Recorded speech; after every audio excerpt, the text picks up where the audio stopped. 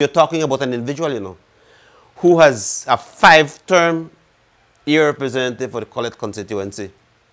You're talking about an individual who has gone to every single elected position within the party except for one, but has gone to all the elected positions within the party, from down the bottom straight to the top. The only position that Patrick Faber has not hold in the UDP is for the director of women.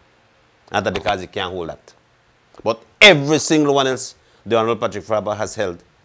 So then how does, how does those, those two or three persons decide the fate? And I was made to understand because one time Tracy Panton requested a clarification from the chairman of our party in terms of what is happening because it doesn't look good, what's happening.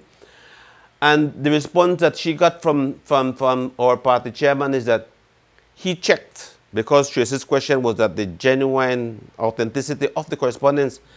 And his response was that he checked with the secretariat and the secretariat informed him that the correspondence is genuine.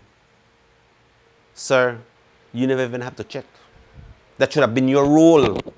You should have known about. So you're going to tell me that these two persons, sir, made a, made a decision like this in your party and you had to check with the secretariat? Something has got to be wrong, my friend. Something not smell good.